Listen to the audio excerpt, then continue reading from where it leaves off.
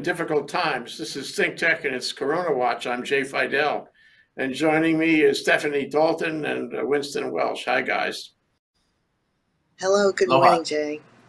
We're going to take a break from our 24 hour cycle of talking about Corona. Instead, this morning, we're going to talk about Corona because we really can't get enough information about Corona. So, the first question is How are you guys feeling about Corona and about yourselves? Everybody okay? Winston? Uh, I am feeling physically okay. You know, I think like everybody else on this planet, we're kind of uh, coronaing out a bit, and uh, it's sinking in deeply that we are going to be under lockdown for the next two months minimum, and uh, so that's having an effect socially, psychologically, emotionally, uh, physically and we're just beginning to explore the ramifications of that. So, oh yeah, well, it it occupies your entire consciousness, twenty four by seven. This morning I went for yep. a walk. Walks are important. All by myself, I went for a walk, and I get to the first intersection, and there's a guy there that I know not well, and he makes some. He make he says hi to me, and you know I'm counting the feet, right? It's, it's it was a good safe six feet. It was probably eight feet, and he said hi. That's all he said. But as he said it, his mouth opened and air came out. And I said, oh my God, I got to check this out. So I started measuring the feet. And then I started measuring the direction of the wind to be sure yep. that when he said hi, you know, the, the little globules, you know, were, were not being blown by the wind in my direction. Uh, my wife thinks I'm losing it. Um, but actually, I made this analysis, and I'm, I'm here to say I don't think the wind carried his high in my direction, although I'm not certain of that. Now, is that paranoia? Okay. Anyway, all right, Stephanie, your turn. How do you feel today? Well, thank you, Joe. Um, um, and I wanted to share that I have been informed by somebody of a study uh, in email that was done in, in elsewhere in, in Korea or uh, maybe China. But um, the fact of the matter is, the droplets do sustain their vi- their vital nature for much more than the time we thought. So they're, they're there for more than 30 minutes. And also, the droplets go further than the six feet. So it is possible, and, the, and they're still viable, um, you know, in, in across that space into the greater space of maybe up to 10 to 12.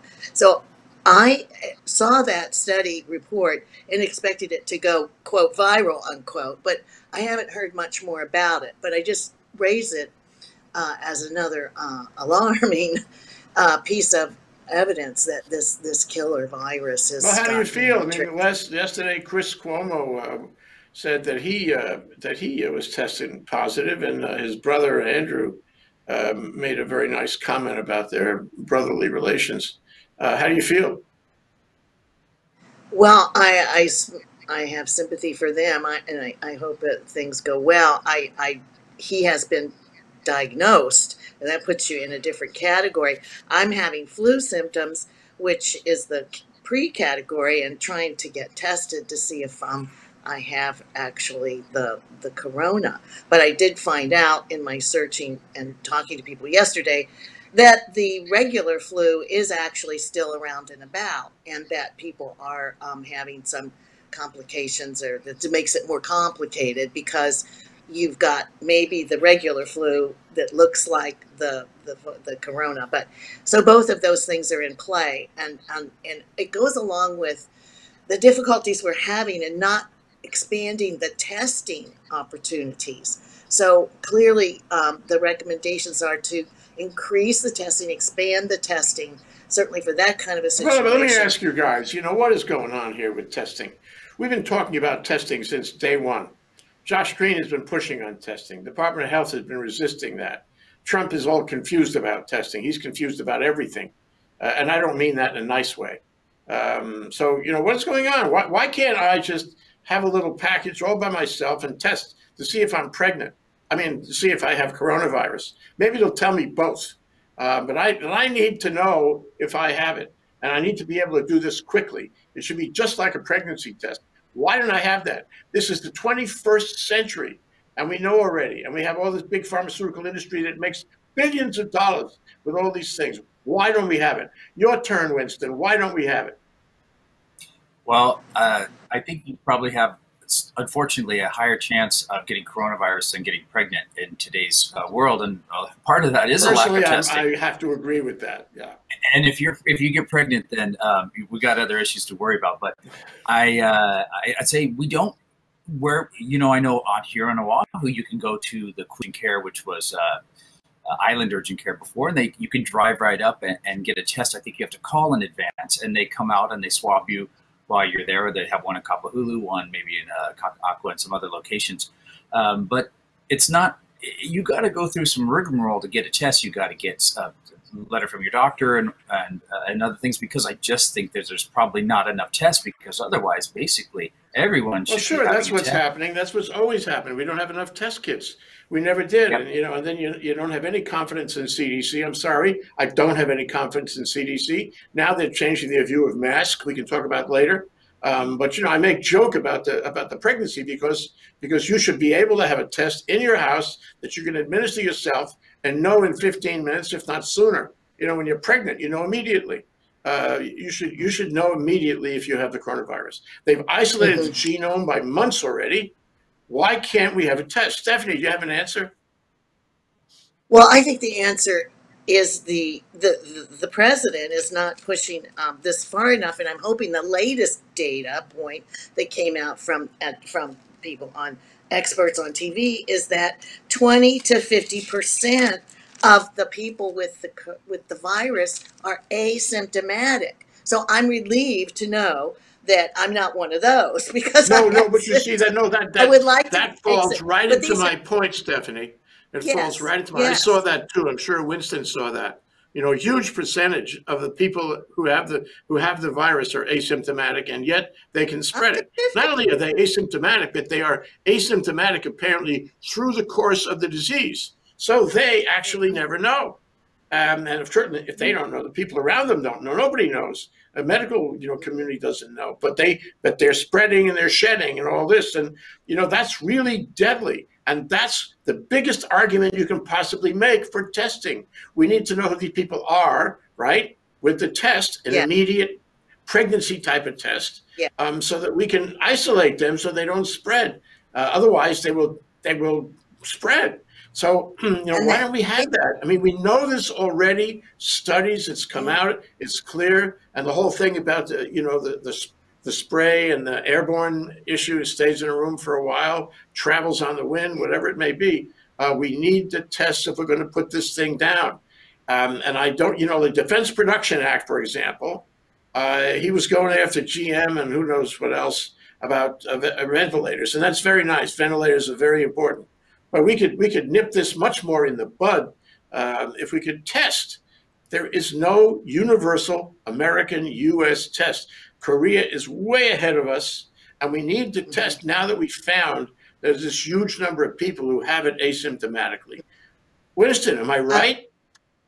Yeah, you are right. But uh, from what I've read, there's a number of tests out there, and they vary in their truthfulness. That, they, that I've I've read somewhere that there could be up to thirty percent false negatives, and others that are false positives. So there's more intense tests, but even those can take eight days. Was the last thing I read to get back to you. So even if you have it, everyone still needs to be on lockdown right now. Uh, it doesn't matter whether you have it or don't have it, but we do need tests out there, especially when you have 50% of the people. There was a study in Iceland came out. It was 50% What, what did you say? What did you say, Stephanie? Stephanie, would you step back from the Oh. uh, just step back from the camera for a moment? We need at least, at Yeah. least six feet. Yeah, thank you. I'm only kidding. Yes, yes, Um, yes. Well, no, actually 12, 10 to 12. Um, All right, thank you. that, uh, But you know, you know, the, thing the about- thing about I'm mad the- as hell about this because I think we have a, a you know a multi multi multi billion dollar pharmaceutical interest industry rather, and he has not applied the Defense Production Act to them. And nobody in this country is making tests. Tests are ubiquitous in Korea and other countries, but in this great nation of ours, you know, it's not so great to be great again. That's my phrase lately. It's not so great to be great again. We we can't do tests. Um, and let me let me take that a little. and It's really critical if we're going to put this pandemic down to have tests. We have to know. There's no other way to know but a test, and and have bureau- Well, you- bureaucracy stand in the way. That's ridiculous. The other one, and I would like your opinion on this one too. is the masks. You know, masks are not rocket science. I mean, I mean, greeting card greeting card manufacturers can make masks. Anybody can make a mask. You know, they got all these things where you can make masks at home now out of toilet paper, but there's no, there's no. I'm sorry, there's no toilet paper to make the mask out of. You know, I'm really I'm mad as hell about this. Why can't this great United States of ours, which Yeah. has been made a great again, but is not so great, uh, can't make a bunch of masks? We should be able to flood the world with masks, and we're not doing that. We're getting them from Russia, Russia, Well, you know, and Jay, China. to- I don't, I don't know if this will give you any greater peace, but the experts were saying in response to questions about that and the failure again of administration to make this happen through the, the, the Production Act.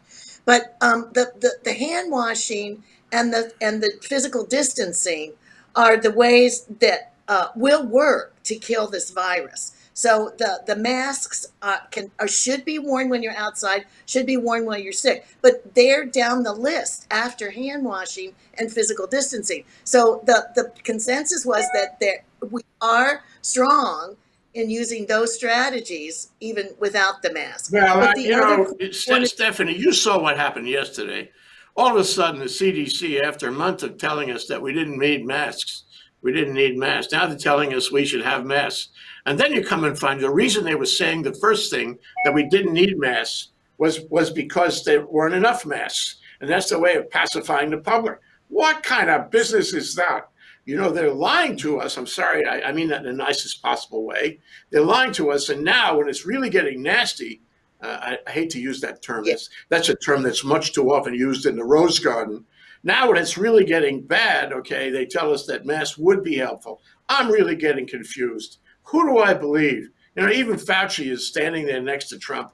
I mean, I, I believe Fauci a lot more than Trump, but who do I really believe? Winston, where do I go? I can't go to social media. I can't, you know, the New York Times maybe or the Washington Post. There's so few places you get the straight skinny. And, and you really have to organize your information so you know which one to believe and you know you use your critical thinking apparatus to try to figure out how to save yourself because the chances of getting it now because we don't know the, the hidden invisible carriers chances of getting it are pretty good. And and you you know do you believe the um, what is it 100000 to 240000 has trump told us the truth yet? Uh, so uh, is it more like you know, you know millions? Uh, i suspect it may very well be millions. What do you think winston? Well, and it's like it's like you said, the CDC was coming out and Anthony Fauci standing there, but he's thinking probably to himself, I have to balance so many things. Like I want to be here and get this information out, but I've got to deal with this man next to me who is saying exactly the opposite of what I need. I know the country doesn't have enough uh, masks. I know that already. So, um, how do I? How do we balance all of these competing interests? And so they say, okay, and maybe, maybe let's just let's just give benefit of the doubt that they didn't think that this was more airborne, and we are getting more information out recently, and I don't think there's been any suppression of this exactly, but that idea that we don't need masks, Asians have been wearing them for decades, and it seems to help over there, both from transmitting and from receiving, but more from transmitting.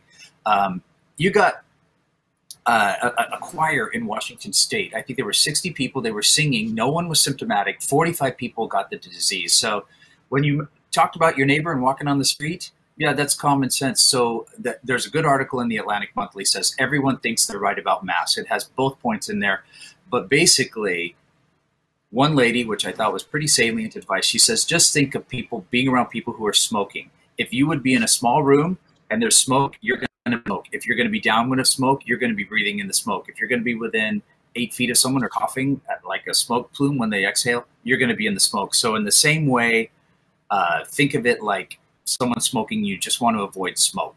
Uh, but I know what right. you mean, but I'd like to offer the thought that if I had to, if I had to choose a, a, a lung full of uh, uh, virus particles in a lung full of somebody else's third party smoke, I, I'd take the smoke anytime. Sorry, that's the way yeah, it is. but it's just an analogy of where to stay. I know, where I to know. I'm just making fun. You know, I, I So, you get that, Stephanie, what are you doing to protect yourself? You know, the thing about it is you can wash your hands. I do. I wash my hands every 10 minutes. I mean, if I if I feel the slightest need to wash my hands, I wash my hands. And then I do something a lot of people don't do. I wash my face after I wash my hands because my face may have those particles that drop down into your respiratory system. So it's good to wash your face. And it's good to take a shower a couple of times a day and change your clothes, all that stuff. But I don't know if that's working. I have no metric on whether that's working. I could be a secret carrier. That's why we need the tests. So, Stephanie, what That's have right. you been doing? Well, that that's what I'm doing. Probably not enough, but I have my Clorox wipe, so I'm also even putting that on my face after I've been to shop or something like that, and always wipe wipe down everything with my Clorox wipe. But and I'm trying to wear my mask because um, in Italy, 60 doctors are dead, and that was mostly because they didn't have the protective gear. And certainly, part of the protective gear is the mask, and of course, they're closer up to the patients. But I think what's what is important about your point and your diatribe is that we have a, coming after this, we have the second wave. And there's possibly a third wave. So Fauci's mentioned a little bit about this because if we don't get control of it to the point that we can protect ourselves in the second wave, then the second wave could possibly wipe us out. And I think there are there's much hope in um, pushing. Well, I don't know how much hope there is, but the testing needs to go not just for the corona, but also the new test that's under development and being used in studies is the test for the antibodies because they want to know, in addition to the corona uh, victims who have no symptoms, there are those that had no symptoms and then afterwards and did have symptoms, but afterwards they all have antibodies. And there's the test to find out who's got the antibodies Okay, so we that gotta- we've we got those that. But I'd like to move on. I'd like to move on uh, for the lack of time to something else. And Sure, it's sure. called su- supply line. It's, you know, so you're going down to the food store, you don't go too often. You probably should wear a mask when you go and be careful to clean up when you come home and, and let the groceries, you know, sit quietly for a little while or wash them and all that. Um, so, you know, you got to have food, got to have food, got to have electricity, got to have water, right? Did I get it all? Uh, well, I, you know, I don't think that uh, medical services, uh, sort of run-of-the-mill medical services, is something we can depend on long term. I have a couple of doctors who I've had, you know, routine, um, you know, appointments with. They they canceled because, and I and I perfectly understand and agree. Uh, they don't want to expose their staff or me or them or anybody. So if it's not essential, no no appointment. But it gets much more serious when you're talking about food, food. And there was an article in the New York Times this morning about how the supply, in fact, there were two of them, uh, how food, wasn't the Washington, doesn't matter. Um, food, the supply lines of food, we should not assume that, that they're going to continue forever without disruption. Um, this is of great concern because in order to keep, you know, civil order, in order to keep people from not freaking out entirely as the death toll, you know, increases daily into hundreds of thousands, we really need to have food. For one thing, it's psychologically helpful because you do compulsive eating and gain weight at home sitting watching the tube. but for the other thing, you know, you need to have food. Winston, what are we going to do when you go down to Safeway and the shelves are bare? I mean, on essentials, this could happen. And there are people who speculate that it might happen soon. What do you think? I'm not going to go down that route. I think our supply lines are fine right now. Going to be food coming to the soup. Toilet paper's back. Uh, you know, they may be saying, okay, our kupunas come in the morning. There's going to be food. Of course, nothing will last forever if you, but this isn't a forever situation. This whole thing about staying indoors right now, it's not that people aren't going to get this thing. From what I've read from the very beginning, we're expecting 140 to 170 uh, fo- I'm sorry, 40 to 70 Let me, let me go back. Let me go back to the supply lines. There was a big, Yeah. uh, a big scene yesterday uh, in the news about some guy who was fired from Amazon over a dispute on uh, coronavirus and staff and protection and masks and PPE for uh, you know the um, the- the assembly line people in in a big um, in a big facility, uh, uh, Amazon processing facility. And of course, uh, that, that was followed by labor actions in various facilities for Amazon around the country. And if I were Amazon, I'd be concerned. And if I was, um, you know, if I was me, I would be concerned because I happen to rely on Amazon heavily for a lot of things. And they're not just discretionary things, they're things I think I need in our household. Um, and, and, there are people in this country who like to kick Amazon in the, in the ankle. It reminds me of uh, AOC back in the day when uh, she was complaining that Amazon should not have a facility in uh, Long Island City, New York, uh, because it was, uh, I don't know, the reasons. The reasons are hard to understand. Um, and now there are people that are kicking Amazon because they're not protecting their assembly workers uh, enough. Um, but bottom line, though, is Amazon goes down. Where are you going to go? the mom and pops are closed. the retail is, is in shambles. Uh, if you can't order it by email and I mean by online and, and, get it and have a reasonable chance of getting it in a reasonable period of time, if Amazon is not functioning anymore, and you know it's not functioning nearly as well as it was, uh, what are we going to do, Stephanie?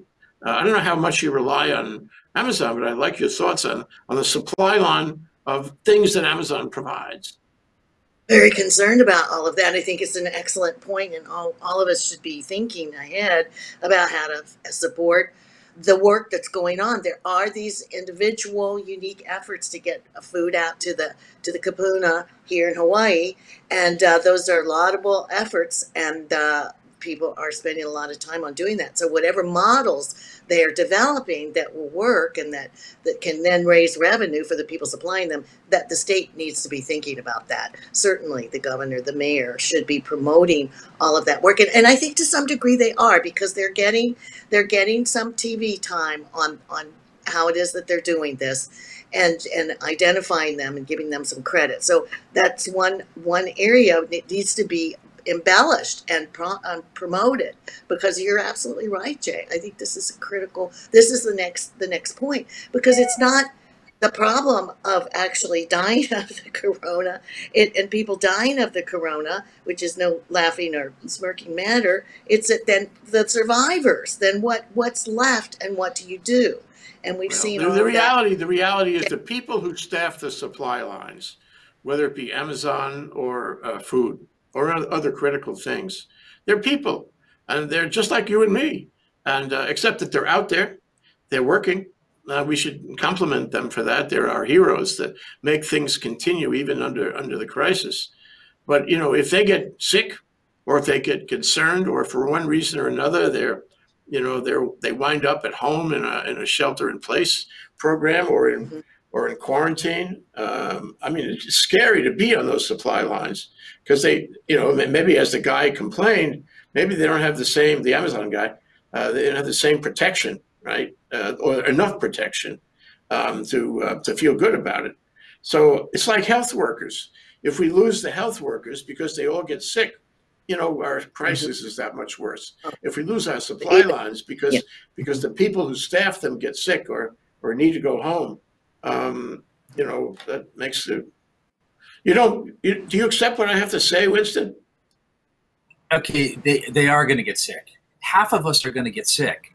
That's a given. 40, 70 percent are going to get sick. The whole point is that we're flattening the curve so that we can take care of the people when they do get sick. So we're getting building up to herd immunity, basically. I mean, remember the British came out a week ago and they said, "Oh, we're just going to let everybody get sick and we're going to build up herd immunity." People said, "Oh no, we're not going to do that because it would be devastating. People are going to get sick. Half of the people are not going to be symptomatic. For whatever reason, they're not. They're going to develop immunity. Like Stephanie said, we're going to start taking out their blood plasma people with that. The economy can function with half of the workers. It's probably already functioning with half of the workers. Uh, people that get sick will be replaced in, in, in, a, in a reasonable manner we don't have to worry about everything collapsing now. It is not the zombie apocalypse yet. We have very serious issues to face, and this is one that does need to be addressed. But as we find that people um, are not all falling very ill of this, and they're just becoming, uh, I guess, seroconverting, but without uh, real detrimental effects, we're going to see that we are building herd immunities. We're going to be getting vaccines. It, it will happen in time so that we won't be facing these. Well, that, that loops back. That loops back to the point we were discussing uh, at the beginning of the show, namely that you have a lot of people out there who have it, but are asymptomatic. And asymptomatic to the point where the disease runs its course. They don't know about it. They're not much affected by it, although they're shedding virus all over the place. Those people are part of the herd immunity process. So if you have, I don't know what the percentage is, say 60% of the people uh, in the world uh, somehow get through this process. Some of them die. Some of them, you know, manage to, um, you know, go to hospital and come back again. It's not so easy. Um, then you know, then then you could reach herd immunity. But and, and and this is this may explain the mysterious reduction of the Spanish flu back in the day and other and other such uh, other such epidemics. But last question for us because we don't have a limited time. Um, that, that's, that's kind of we don't have unlimited time. None of us have unlimited time. None of us have unlimited time. Uh, mm. So the question is, you know, we have various information coming to us about when this is all going to cool off. So, you know, uh, I've heard it, you know, from Easter, that's ridiculous, uh, to a couple months maybe, or as much as four months. Heard, you know, June, July, August, September. I mean, there are so many opinions you could shake a stick at it.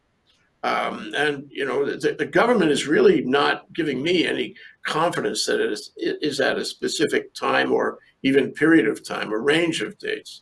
But I'd like to know how you guys have integrated all the information they've thrown at us, um, you know, as to when this is going to cool off, when we can have a reasonable expectation of going going outside again uh, without a mask and going about our lives. So, Stephanie, what what when you shake it and bake it, what's your feeling about that?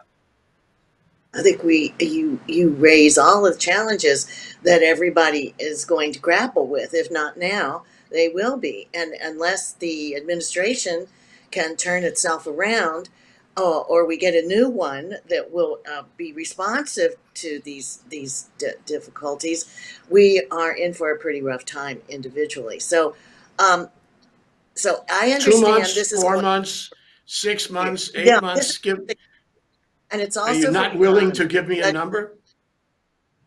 I'm saying, well, I'm hearing like next month, next year, June, we may get somewhere back to getting our feet on the, getting some traction on this thing. But until then, because we have guaranteed a second wave, guaranteed. And then there's a possible third. But that depends on how good we are now and how much better we've gotten by the second. So the big frustration is, of course, this majestic country with all of its talent has not stepped up to the plate or can't Yeah, step well, up as to the I plate. say, it's, it's not so, turning- it's not so great to be great again, you know what I mean? So Winston, uh, give me, give me a number. Okay, University of Washington came out with their study. You can go state by state. Very interesting tool. Of course, it's very conservative, or maybe liberal. I guess I, I, I don't know in their interpretations. This is where you hear to two hundred forty thousand. You can go by state. They say Hawaii is going to peak at the end of April, and that we will peak with a certain number of deaths, and that by the mid mid June we should be down to about one death per day again. This is the first wave. I think this thing is with us for a year and a half, a couple years, and there will be different waves coming. So, like Stephanie said, this is the first wave. It's here. It's with us. We just have to deal the, our best way that we can to cope with it. Keep sharing a lot of aloha with people. Share aloha with yourself. Um, you know, mentally, physically, spiritually, uh, all in all ways. Take care of yourself so that you can take care of others when the need arises. Well, what I hear you guys saying, and uh, let me throw this at you. What I hear you guys saying is, okay, it's going to be mm, roughly 18 months before we can feel comfortable. And I think baked into that answer is going to be 18 months before we have a, a vaccine, which is what they said at the beginning. And I, I, you know, I would tend to agree with that. I mean, maybe it's earlier, but that'll that'll be the miracle if it's earlier. Mostly it'll be 18 months. And the question is, um, you know, until there is a vaccine, seems to me uh, that as a personal matter, uh, we'll want to have that. Um, you know, quick test at home, rabbit's foot kind of testing. Um, we'll the 15 minute testing at home. We'll want to have masks, everybody with lots of masks, um, and we want to and we want to stay out of crowds um, and maybe even restaurants because we All don't want to get sick. And so we're going to be, uh, uh, you know, limited lifestyle, we call it that, uh, just as now, or maybe a little modified uh, for uh, what another year and change. That's I think that's all very reasonable uh, expectation, but it may change in the next seven days, you guys. And so I'm so excited to tell you that we're going to do this show again next Wednesday okay, at 12 o'clock. And, and we're going to explore the, well, the, not the same questions, but the questions that arise in the meantime. What do you think, Stephanie? Well, I, I'm, I'm thinking it's exciting and it's, I, hopefully the service to our audience that we're trying to make it be. And I think uh, on the state of the state of Hawaii, we're going to have uh, some consideration for small business owners and especially the dental community, which I didn't always Oh, consider yes, yes. small business owner. Very So- important point. That's a new, and that's a new part of their, their lives that they're finding out about how important that category is and what is coming out of the administration to help them. and the layers of that, and the dis, the unemployment and the people that are in, are suffering after uh, being in such a secure industry, and as as many of the small businesses. And Winston, what's top of mind for you going forward into the next week of this great adventure of ours? Oh boy, it's going to be. I think uh, Donald Trump was right. In this case, it's going to be a grim couple of weeks. It's going to be a grim month, and so we need to kind of steel ourselves and just uh, limit your exposure to social media, um, to uh, all kinds of media, actually, uh, and just to the amount that you can take in. That's not going to harm you because you're probably not going to change a lot if you don't already know what to do. Figure it out and share that with people, and then otherwise find something that you love doing, whether it's reading or working in your garden or walking your dog. So, um, and, and calling people you love. Um, so just Yeah, hunker that garden, We need to do it together. I garden. sure agree. Yeah, for me, for me, it has turned out to be Andre Segovia. I, I pull him up on my Amazon Music, and I listen to him play his songs, and it comforts me. Well, thank you, Stephanie, Stephanie Dalton, uh, and Winston Welch. Thank you so much for doing this. Uh, it is, a, it- as you said, Winston, it's a great contribution.